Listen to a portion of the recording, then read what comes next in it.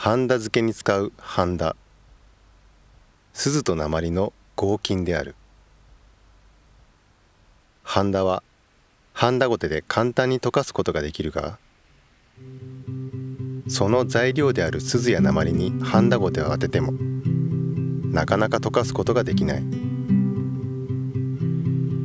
実は複数の金属を混ぜて合金にすると一般的に原子同士の結合が弱まり元の金属よりも融点が下がる。これを融点効果と呼ぶ。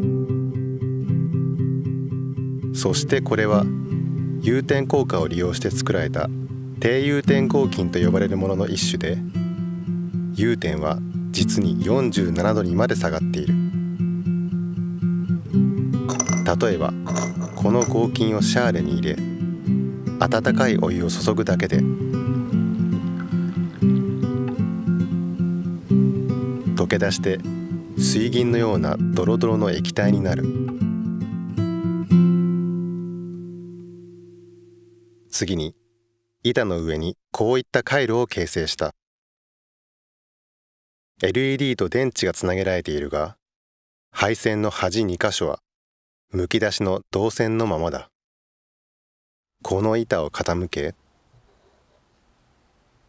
ここにあらかじめ溶かしておいた低融点合金を流すとこんなこともできる。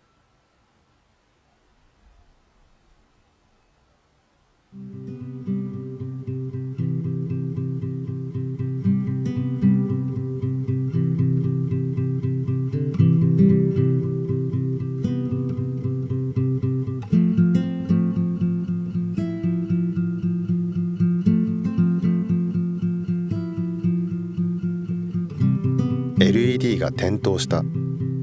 回路がつながったということだ。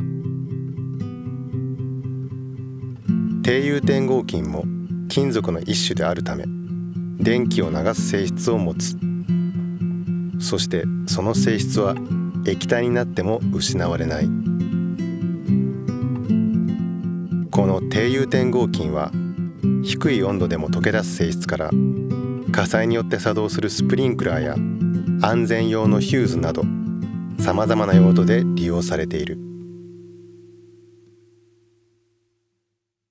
未来の科学者たちへ。NIMS